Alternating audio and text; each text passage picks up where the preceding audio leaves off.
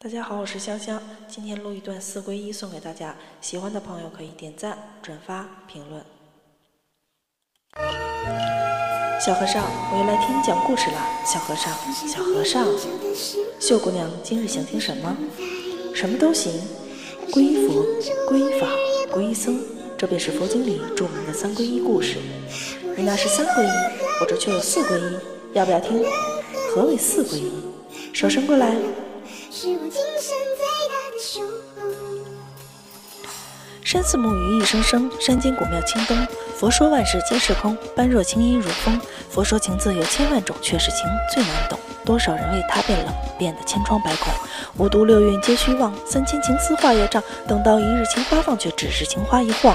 多情自古空余恨，跪在佛前轻声问：已是千疮百个顺，又为谁乱了方寸？佛前二十载悟禅，一念化为笑谈。梦不醒，他情太难，难断三千痴缠。佛说开破爱恨嗔痴情缘，无限太深。微风拂柳又一春，是谁爱得太真？佛说放下方得自在，放不下就别责怪。转瞬一千年太快，有几人相守到年迈？堂前万丈佛光彻，护着繁花不落。世人皆说红颜祸，却没人懂这承诺。皈依佛，皈依法，皈依僧，皈依秀姑娘。想听更多的喊麦，欢迎大家关注香香。